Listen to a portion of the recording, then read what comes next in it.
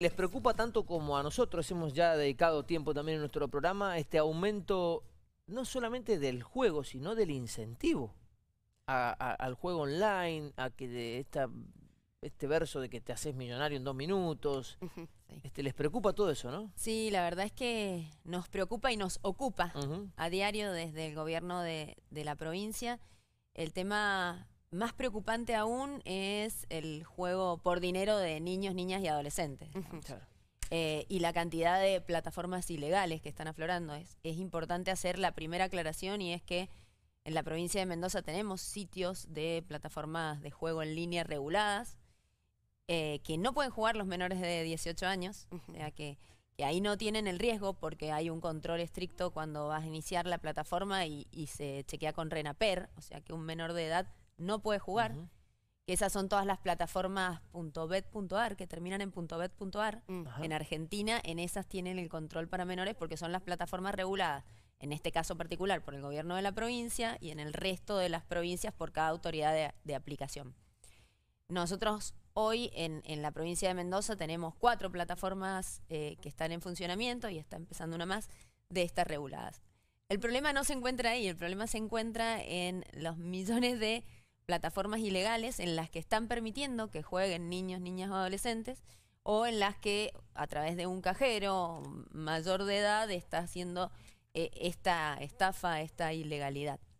Ante eso lo que estamos haciendo son atacando por todos los por todas las aristas que, podemos hacer y estamos trabajando con la DGE en conjunto y ahora que comienzan de vuelta la- las clases empezamos con las capacitaciones para, para los docentes.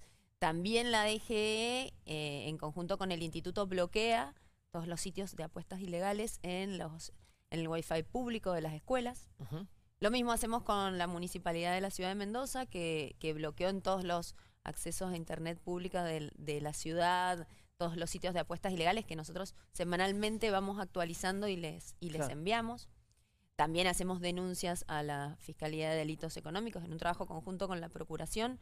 Eh, ya llevamos más de mil plataformas y bárbaro. perfiles de juego ilegal denunciados. Creo que el gran desafío es la concientización, Claro. porque la Ah, vuelta se la buscás si Es- querés. ok, no me punto. conecto al wifi público, lo apuesto con mis datos. Claro. Los chicos tienen mil y una herramientas para hacerlo, ¿no? Para Claro. concretarlo. Ese es me parece punto. que hay que ir a atacar desde, desde raíz para que no lleguen a eso. Ese es el punto principal, porque si bien nosotros hacemos permanentemente, bloqueamos todos los días, llevamos Claro. 800 perfiles de, de- de meta entre Instagram y Facebook bloqueados, eh, la realidad es que estamos haciendo una gran campaña de concientización porque, porque es lo importante, porque es lo importante que no solo se vean las escuelas y el docente se lo diga, sino que tiene que surgir de la casa. La verdad es que Totalmente. el niño está con el teléfono y uno cree que está protegido y está... Y de acuerdo a esa investigación que ustedes están realizando, eh, ¿cómo ven en la recepción por parte del- de la casa sobre todo esto que ustedes decían? Es importante que desde la casa se, eh, in- eh, se les diga a los chicos que no deben de ser parte de estos juegos. Hay padres, est- estamos ahora midiendo eso, o sea, todavía no tenemos Ah, resultados definitivos, pero estamos midiendo a nivel nacional a través de la Asociación de Loterías Argentinas.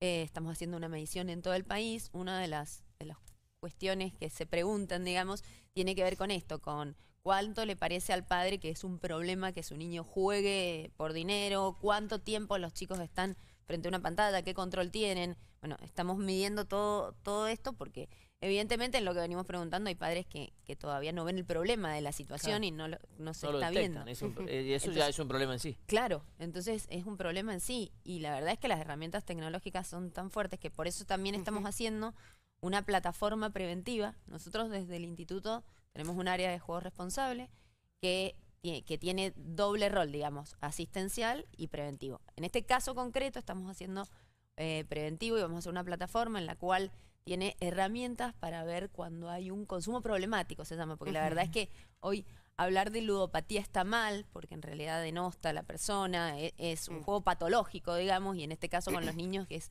cuando puede llegar a ser un consumo problemático. Eh, entonces va a tener ciertos tips para que lo puedan ver por un lado docentes, por el otro lado los padres y por el otro lado los, los menores, porque la verdad es que el lenguaje no es el mismo para los tres y cómo llegas a cada uno no es lo mismo. Claro. Entonces estamos haciendo una plataforma preventiva en la cual puedan entrar y encontrar ciertos sistemas de alerta y también a dónde acudir.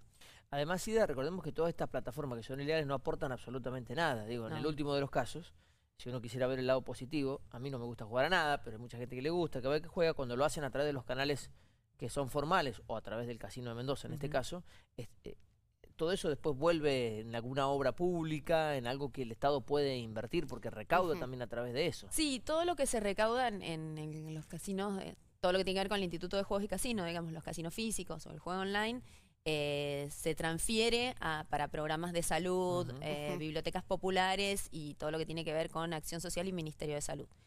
Eh, pero ese, si bien es un fin importante, digamos, no fue la finalidad específica para la regulación del juego en línea Claro, en la claro.